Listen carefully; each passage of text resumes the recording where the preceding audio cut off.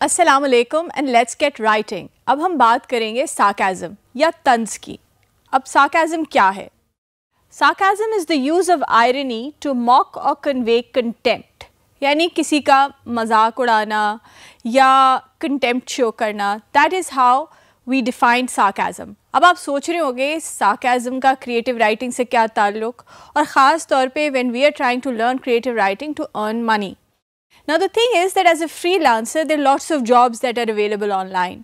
आप uh, writers बन सकते हैं जो एक किताब कोई लिख रहा है उसके लिए। आप कंटेंट uh, राइटिंग कर सकते हैं आप इश्तहार लिख सकते हैं आप वेबसाइट्स के लिए लिख सकते हैं। तो इसमें मुख्तलिफ़ किस्म की राइटिंग की ज़रूरत होती है और उसमें साकाज़म एक तरीका है। That is why we will talk about sarcasm today कि हम साकाज़म लिखते कैसे हैं और उसको बेस्ट तरीका लिखने का क्या है?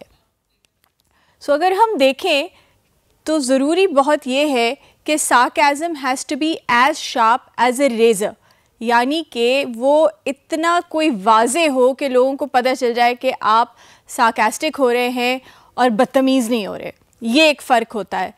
तो साकाज़म का एक जो एलिमेंट है, वो है सेल्फ डेप्रिकेटिंग साकाज़म यानी कि आपकी अपनी वर्थलेसनेस के ज़रिए आप इतनी ज़्यादा उसको एग्जैजरेट कर देते कि आप साकेस्टिक हो जाते हैं. फॉर एग्ज़ाम्पल आपका बॉस कहता है, आज ओवर टाइम पे काम करना है. और आप कहते हाँ ओवर टाइम कर लेता हूँ, मेरी तो सिर्फ़ शादी थी तो क्या हुआ? उसने तो मुझे वैसे ही छोड़ के चले जाना था. That is self deprecating sarcasm Another kind of sarcasm is brooding sarcasm. यानी कि आप इतना ज़्यादा सबसर्वियंट हो जाते हैं कि आप उनको सार्कास्टिक हो जाते। So the boss says you'll have to work over time this weekend और आप कहते हैं, बिल्कुल जी, मैं तो आपकी खिदमत के लिए हाजिर हूँ। I live to serve you that is why of course I come in work over the weekend तो आपने ये बता दिया you don't really want to work but you being sarcastic in your response another one is a dead pan यानी कि लोगों को कुछ समझ ना आए कि आप हैं सार्कास्टिक के नहीं हैं तो अगर वो कहता है बॉस कि जी ओवर टाइम काम करना है इस वीकेंड तो आप कहते हैं sure I had a cult meeting to go to I just had to kill a goat but that's okay I come and work so again you are showing sarcasm through a deadpan manner. Another is the polite sarcasm, where you become so polite, आप इतने अच्छे हो जाते हैं कि आप sarcastic हो जाते हैं। तो बॉस कहता है कि you have to work over time and you say of course मैं तो आइसक्रीम भी ले आऊँगा मैं खाना भी ले आता हूँ बिस्तर भी ले आता हूँ दफ्तर में ही रहता हूँ मुझे क्या ज़रूरत है कुछ और करने की? Of course I work this weekend एक होता है obnoxious sarcasm where you are actually becoming obnoxious या थोड़े से बॉर्डर लाइन बदतमीज़ हो रहे हैं आप। तो वो बॉस कहता है कि जी you have to work over time so आप कहते हैं कि वो the hell why do I have to work why doesn't anybody else work I mean am I the only one so that again is an obnoxious kind of sarcasm. Another one is manic sarcasm.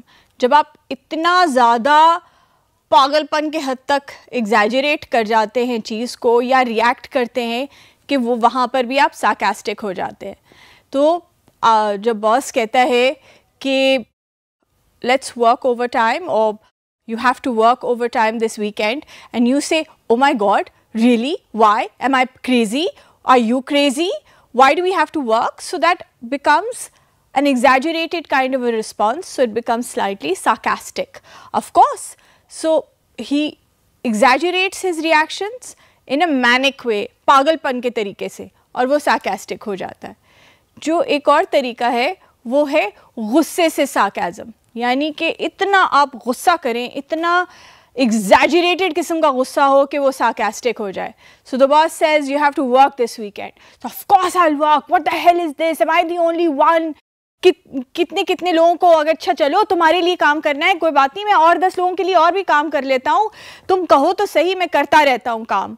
So this becomes an exaggerated sarcasm so for sarcasm when we are writing sarcasm there are few elements that we have to keep in mind timing just like comedy timing is extremely important if you don't set when you suppose to set or set the way you suppose to set then it is no longer sarcastic Context, आप बात कर रहे हैं काम की तो काम के ही कॉन्टेक्स्ट में साकाज़म होना चाहिए। अगर किसी और तरीके से होता है तो वो फिर साकास्टिक नहीं रहता। बंदा कंफ्यूज हो जाता है पढ़ते हुए या देखते हुए कि ये वाकई साकाज़म था या नहीं। फेशियल एक्सप्रेशंस जब आप लिख रहे होते हैं तो आप एक्सप्लेन करें कि कैरेक्टर या आपका जो बंदा साकास्टिक हो रहा है आई हैड अ ट्विंकल और ही वॉज़ मिस्चीवियस और देर वॉज़ डिवियट डिवियसनेस इन हिज आई तो वो फेशियल एक्सप्रेशंस भी आप एक्सप्लेन करेंगे तब भी पता चलेगा कि ये साकास्टिक है कि नहीं। Be consistent throughout your writing style your sarcastic style has to be consistent only then sarcasm will be understood एक चीज़ और जिसका हमें ख्याल करना चाहिए वो ये है कि हर कोई साकाजम समझता नहीं है। It's not necessary that everybody understands sarcasm. So, you have to be very careful on how you write it out. So, some Further elements that you have to be careful about when you are writing sarcasm are punctuation, capitalization, spellings, um, internet slang. बहुत सारा अब internet ऐसा language है जो कि हमारे आम इस्तेमाल में नहीं होती बट वो इंटरनेट स्पेसिफिक होती है उससे भी साकाज़म हो सकता है um, बिल्कुल आप स्ट्रेट फॉरवर्ड अगर बात करेंगे उस वो साकास्टिक uh, जो है उसमें भी सटलिटी लाना ज़रूरी होती है you're maximizing the quality. You're maximizing the quantity. So, quality भी अच्छी होनी चाहिए, continuous होना चाहिए, और रिलेशनशिप एंड मैनर जिस तरह आप बोलते हैं, और जिस तरह आप कहते हैं, और लिखते हैं, पूरी सिचुएशन क्रिएट करते हैं, उससे साकाज़म उजागर होता, उभरता है, और लोगों को पता चलता है that yes you are actually being sarcastic and not nasty or